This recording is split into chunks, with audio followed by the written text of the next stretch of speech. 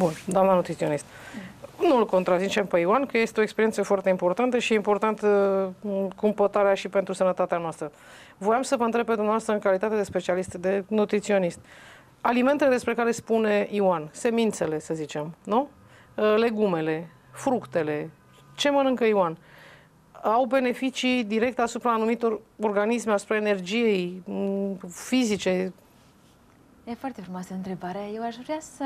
Am fost foarte atentă la povestea dânsului și aș vrea să încep cu începutul și cu acea uh, ciroză pe care domnul a accesat-o și ce concluzie a tras el. Mi-a plăcut foarte mult când a menționat despre combinațiile alimentare, pentru că ciroza e o boală care poate să apară, fiziologic vorbind, dacă accesăm combinații alimentare care nu sunt potrivite pentru corpul nostru care produc fermentația. Dați un exemplu, doamne. Iar acea fasole cu carne produce fermentația. Carne cu cartofi produce fermentația.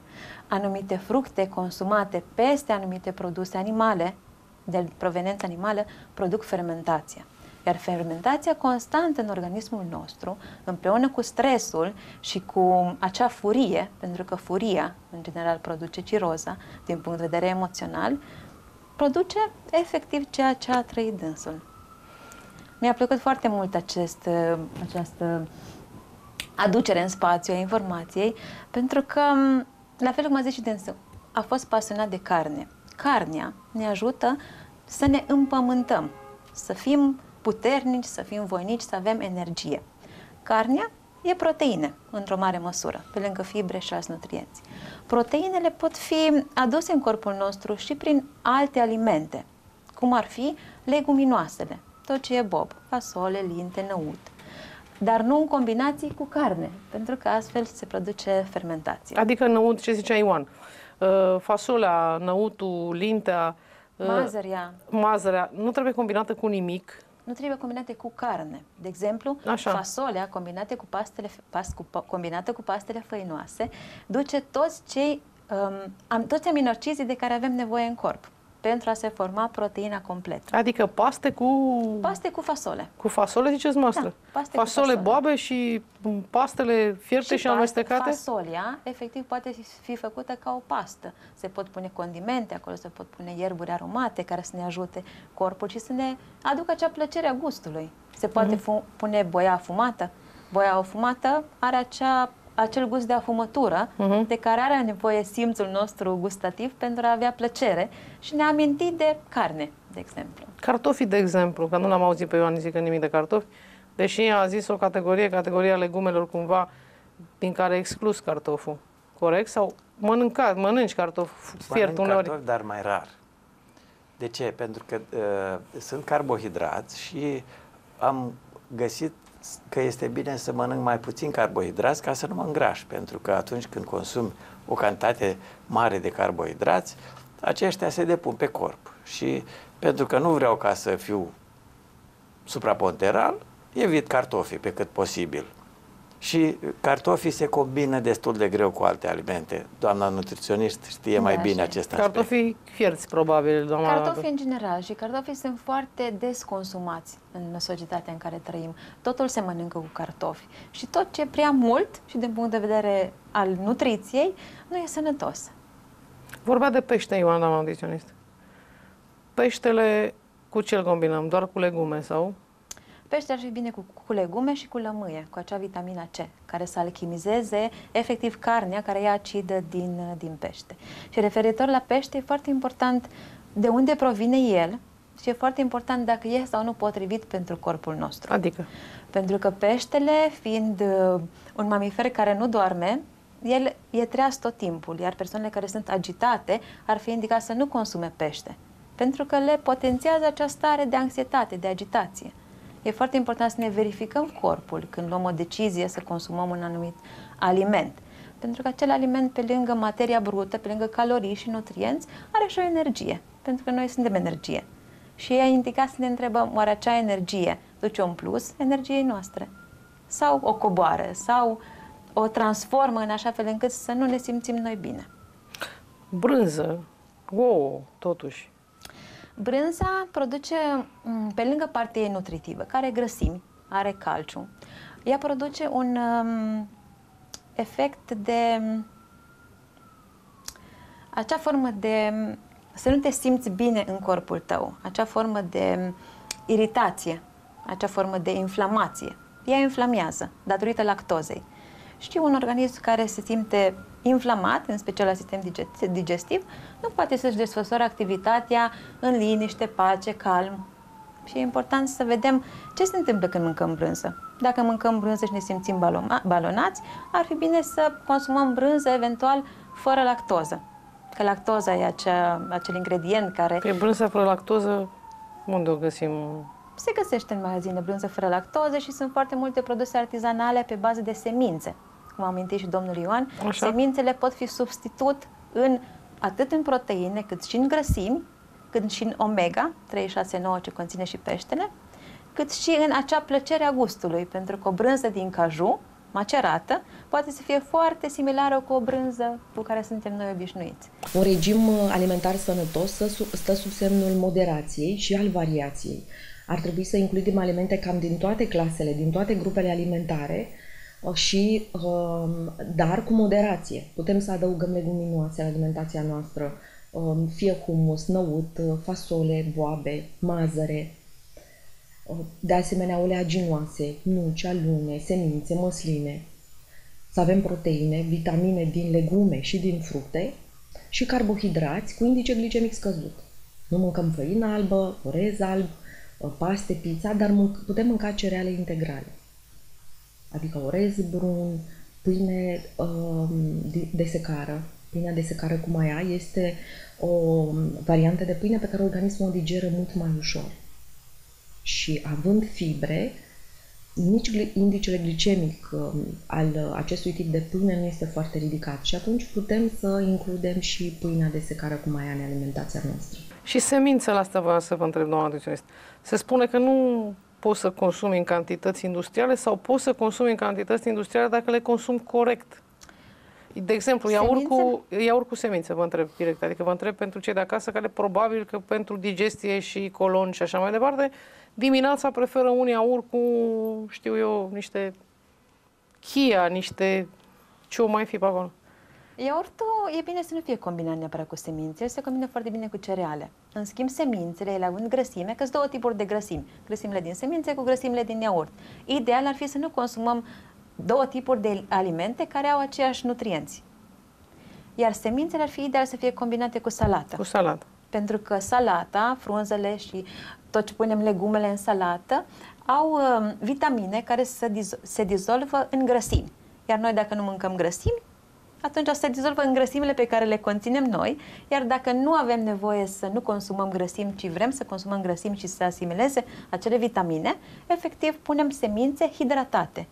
Ați spus ceva despre cum să mâncăm corect semințele. Da, cum adică? Dați-mi exemplu și ce tipuri de semințe și ce, cum le hidratăm. Adică să le spunem corect.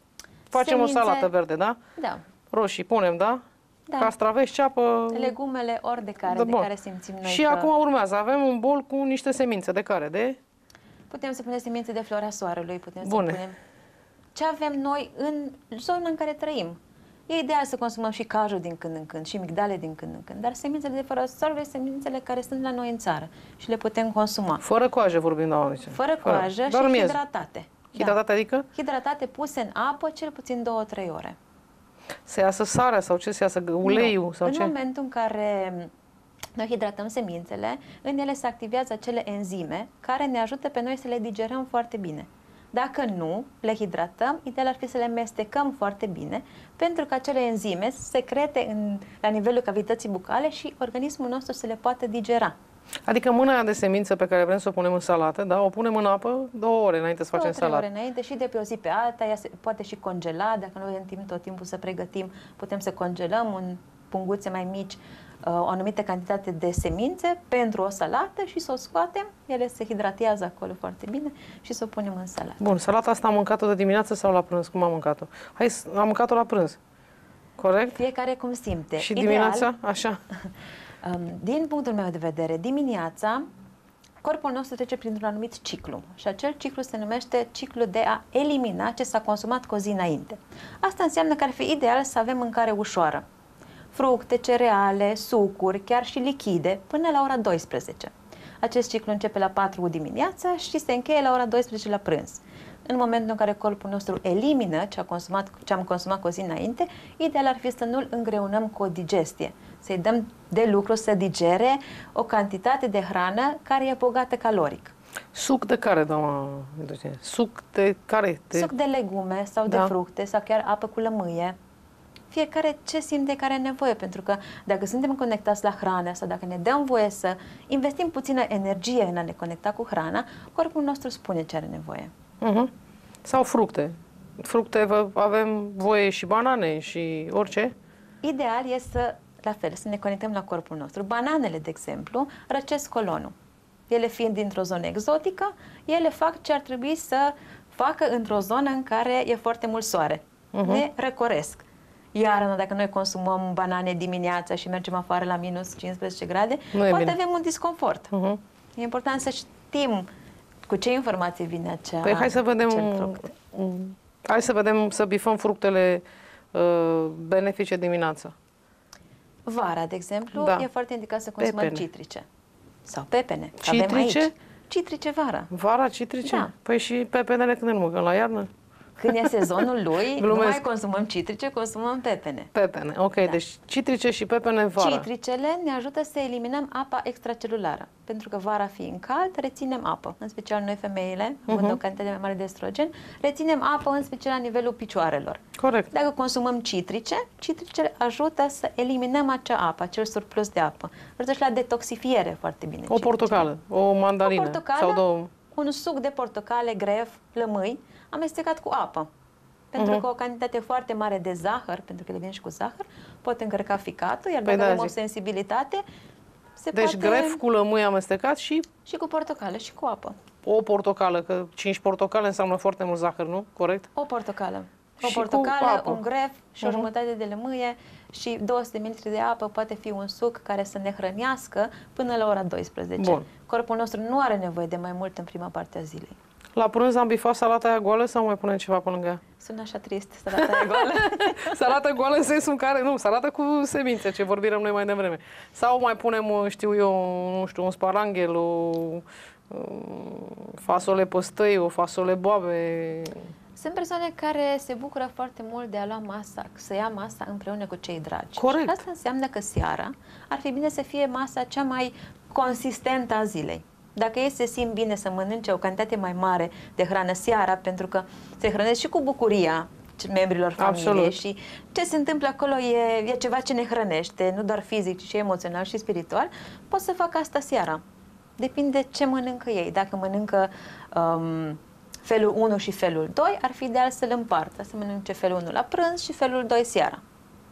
Bun, dar având atât de, din punctul meu de vedere, iertați-mă, atât de puține variante, nu te plictisești? Tot cum, adică cum să faci salata aia să fie mâine altfel decât ieri? Vă întreb amândoi. Sau cum să faci fasolea aia astăzi și peste două zile să o faci altfel? Că, ok, o faci bătută, o faci fiartă, o faci, nu știu, cumva. La un moment dat devine, tu devii cumva într-un cerc în care ești obligat să, adică ești obligat pentru că îți face bine, nu că te obligă cineva, să alegi din foarte puține produse, ca să zic așa?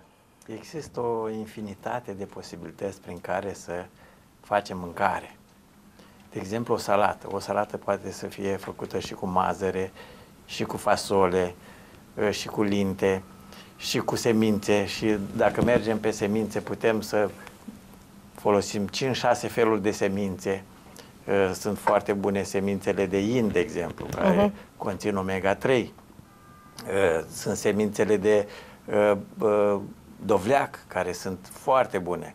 Ei, toate aceste semințe pot fi folosite rând pe rând în salate sau chiar combinate. Mhm. Semințele uh-huh. se pot combina între ele. Nu se pot combina, așa cum a spus doamna nutriționist, nu se pot combina semințele cu leguminoasele, de exemplu. Dar semințele se pot combina între ele.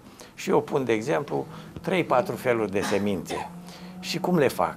Eu le gătesc din timp. Adică îmi gătesc semințele pentru 4-5 zile. Îmi fac un amestec de semințe, îl hidratez, îl condimentez, deci condimentez, aduc în semințe exact condimentul care îl punem la carne, de exemplu. Adică sal, pui puțină sale, Ioane, nu? Am făcut un condiment numit condiment integrativ, care conține 12 tipuri de condimente și acest condiment este foarte bun pentru semințe. După ce spăl semințele, pun puțină sare și pun acel condiment. Și apoi, în timp ce lucrez cu, cu semințele, pentru că lucrez cu semințele așa cum lucrăm cu carnea. Pe lângă legume, este bine să avem și o proteină. Este carne, pește, ouă sau brânză. Ioane, vorbeai de semințe, că după aia m-am uitat, Da. uitându-mă așa prin cartea asta a ta, eu văd că tu zici ceva de borș, adică Da. mănânci ciorbă. Da, eu mănânc. sunt foarte interesată de Da, acest fel de da, mâncare. da. Hai să terminăm cu semințele și Ne după aia, bucurăm să auzim asta. pe Da. cuvânt. Pe cuvânt. Deci, dacă ar fi să spun secretul reușitei mele în alimentația integrativă, pot să spun că semințele au fost cele care m-au condus la succes. De ce? Semințe, semințele au, pot fi, au putut fi gătite în toate felurile. Le-am gătit exact cum gătim carnea. Am Pe condimentat... cum, Ioane, să că nu poți să spui că pui semințele pe grătar, că uite, nebunesc aici și mai bea o gură de cafea. Da, Punem Pe- ciupercile pe grătar și le consumăm cu Ah, semințe. am înțeles. da. Dar iată cum fac. Pun semințele în tigaie. Și Le Așa, coc. bun. Bun. Trebuie să fie ceva foarte bun. Deci le coc. Așa. Semințe coapte. Mai mâncăm semințe coapte. Ei, semințele coapte sunt foarte bune. Sunt ca și carnea friptă. Sunt mai bune decât carne. Cel puțin așa pentru mine sunt mai bune. De ce? Pentru că eu sunt obișnuit deja cu semințele. Eu mănânc semințe coapte de peste 8 ani și mă simt foarte bine. Ei, pun semințe peste tot. Mănânc și se, doar semințe, pun și în, uh, în salată și am ajuns mai nou să pun semințele și în borș. Da, ca idee. Deci dacă vreau ca să mănânc... Deci nu cred că faci ciorbă de semințe, Ioane. Nu, fac un borș de uh, cartofi, de exemplu, și când uh, vreau să mănânc ceva mai consistent, mai pun și niște Pui o semințe. mână de semințe în da, borș. uh, hidratate. Deci dacă le hidratez, sunt foarte bune și se digeră foarte ușor. Ai dat aici o, în cartea Alimentația Integrativă pe care o să o lansez curând, ai dat o rețetă de... Ai dat și rețete de mâncare, Ione? Da, Păi văd aici și acum, ia fii atent că te-am prins. da. Te-am prins. Deci, Pâine am- albă, Ioane? nu mănânc pâine albă. Deci nu te-am prins. Uh, Nu. Păi am văzut eu aici ceva cu pâine. Evităm Renunțarea la pâine albă. Renunțarea. E, m-am Da. făcut că nu văd, vă dați seama, nu? Da, da. Așa. Renunțăm la pâine albă. Mă, dacă, dacă mi și pâinea, Da, O înlocuim. Da. Nu Cu- renunțăm. cu ce, O doamnă înlocuim. o nutriționist? înlocuim cu pâine neagră. pâine neagră. Pâine Sunt integrală. mulțumită. Cu o pâine Da. completă. Pentru că bobul de grâu e complet așa cum e. De ce pâinea să luăm neagră. doar miezul? Uh-huh. Pentru că nu e sănătos. Natura ne învață să, o, să consumăm alimentele așa cum ne le oferă ea. Pentru că ele sunt nutritive pentru corpul nostru și ele sunt complete. Și Pentru că altfel pâinea- ajungem să avem carențe. Am înțeles. Pâinea În corp. neagră, doamna nutriționist. Cu ce o combinați? Dacă, adică cu ce o combină Ioan? Că dumneavoastră... Cu ce o combin și eu, pentru că Și dumneavoastră, cumva, fiind nutriționist, știți mult mai bine să le combinați. Pâinea, cu ce o combini, Ioane? Pâinea Eu asta mănânc- neagră, Deci pâine neagră o mănânc de obicei cu salată. cu salată. Da. Și nu mănânc multă pâine, o felie două, dar este bine să mâncăm cel puțin o dată pe zi pâine. Mulți e, renunță la pâine de tot. Nu putem să renunțăm la pâine pentru că pâinea este un aliment complet. E adevărat că pâinea este un aliment complet atunci când este folosit grâu complet, adică grâu integral. neagră, cum zicea Pâine doamna neagră nutriționist. integrală, Pâine sigur integrală, că da. neagră. da. Și dacă nu cu salată, cu ce putem combina pâinea neagră, doamna nutriționist? Cu acea brânză din caju. Brânza din caju sau tofu, de care Sau spunea tofu, Ioan, De asemenea. fără uh, legume, adică fără un, o roșie, fără un castravetă. Și cu legume de Putem, asemenea. cu le- La fel și ciorba se poate consuma cu pâine, pentru că dacă nu se introduc paste făinoase în ciorbă, se poate consuma cu pâine dacă avem nevoie de un aport mai crescut de nutrienți. Și acum urmează o întrebare demnă de kilogramele pe care le am. Dulce, tort, ciocolată, astea? Sau A- nu trebuia să întreb? Acum 300 de mii de ani, când a venit omul pe pământ, omul nu mânca desert. Aia e, nu, mânca miere, cum nu mânca desert, Ioane? Găsea foarte rar miere. Și am pornit de la asta. Deci când am gândit programul de viață, alimentară, când am gândit proiectul de, de alimentație integrativă, m-am raportat la omul de acum 300 de mii de ani. Și Păi da, mă, dar noi mergem înainte, nu mergem înapoi, Ioane. Măcar o felie de tortă, adică nu... Vino și tu mai aproape, așa, la... da, da, dar Glumesc. Nu, nu face bine. Știu că nu face, dar să zicem că te duci la Alimentul ziua... Uite, dulce. Ioane, vii la ziua mea, că tocmai Da. a fost ziua mea, da? Da. Și eu nu știu că tu nu mănânci dulce. Da. Acum, când eu îți dau o felie de tort, tu ce zici? Da, eu mănânc bine acasă, înainte de a pleca la ziua ta, Așa? da? Așa. Și când ajung la ziua ta, mă uit să văd ce fructe ai pe masă, peste tot, mă amestec cu lumea, nu arăt că nu mănânc, da? Dar și când îți dau tortul, tu ce zici? Că e ziua mea. Mulțumesc, îl gust, îl gust. Că Îl nu guști. Sunt, nu sunt Perfect, fanatic. așa. Nu, nu, nu sunt dogmatic. Accept totul, dar cu măsură. Îl guști și Îl gata. gust, dar nu mănânc mai mult de un gram. Un gram. Și Un gram. îți dau și un pahar de șampanie, că sunt fată bună. Da, merge. Merge? Merge, da. Deci tot așa, maxim 60 de mililitri de vin beau. Deci, Dar nu zilnic sau zi. nu. La ocazie. uh, Până la 60 de mililitri de vin pe zi, vinul este condiment. Dar e bine să nu bei chiar în 60 fiecare de zi. mililitri înseamnă Puțin. o linguriță. Ați auzit, Da, băieți? da. Ca să știți, de ziua mea vă dau o linguriță de vin. De ce? Să-l savrezi. Exact. Exact. Uh, Dacă este mai mult vin, se creează aciditate în corp și atunci uh, nu ne simțim bine. La fel și desertul. Deci desertul, imediat ce intră în tubul digestiv, determină aciditate. Pentru că nu neapărat uh, extragerea zahărului determină ac- aciditate. Corpul simte. Corpul nu a fost obișnuit cu desert. Și în momentul în care zahărul intră în corp, corpul simte o substanță nepotrivită și atunci intră în stres. Și Celulele deci tu intră- mănânci fructe în loc de desert, Ioane. da. Și mănânc stafide, de exemplu. Stafidele sunt extraordinar de bune. Și mănânc și miere, dar evit pe cât posibil mierea. Mănânc foarte mult uh, stafide, curmale, sunt foarte bune. Dar mai nou, pentru că eu am renunțat la uh, carne și la celelalte produse nepotrivite de-a lungul anilor, am ajuns să renunț și la dulce. Din, încet, încet am renunțat și la alimentele Nu ai dulce. simțit nevoia, Ioane, sau ți-ai impus această... Într-o primă fază m-am setat, Te-ai să, setat. m-am setat să nu consum. Iar acum nu simt nevoia. Nu simt nevoia să mănânc nici stafide. Trec, trec două, trei săptămâni până ce mănânc stafide. Da, mă, atenție, cum păcălim, cu ce păcălim, de fapt, această plăcere de a, de a mânca un dulce, pe care probabil că nu l-am doar eu, mă gândesc. Zic. Da, această plăcere din punct de vedere fiziologic poate fi o dependență de Corect. acel zahăr. Iar zahărul ajuns în corpul nostru produce inflamație, la fel ca și lactoza, la fel ca și glutenul. Acea inflamație constantă ne schimbă starea de spirit. Devenim mai iritați, devenim mai anxioși, uh, avem parte de acea energie crescută pentru o scurtă perioadă de timp și după aia o energie scăzută care ne creează un disconfort. Iar uh, dacă e să înlocuim zahărul cu ceva, putem să înlocuim cu acele fructe uscate puse în prăjituri. Putem să mâncăm tort, dar fără zahăr. Tort cu curmale, de exemplu. E foarte bun, foarte gustos și Adică foarte făcut în hrănitor. casă, ziceți dumneavoastră. În casă sau sunt uh, anumite locații și aici în București și în toată țara. Nu, să zicem la îndemâna noastră. Da, vii acasă, seara, exact ce spuneați dumneavoastră, Mhm. îți face plăcere să mănânci cu familia, copilul își cere un dulce și tu vrei să spăcălești. Nu neapărat că trebuie să fii vegan, poți fi gras, ca mine, trebuie să fii vegan. Și să vrei să Vrei faci și să-ți tu onorezi ceva. corpul, nu vrei să-l păcărești, vrei să onorezi Așa. corpul și acea poftă alimentară pe care o ai. Și, de exemplu, va, e vara acum, putem face o înghețată foarte bună.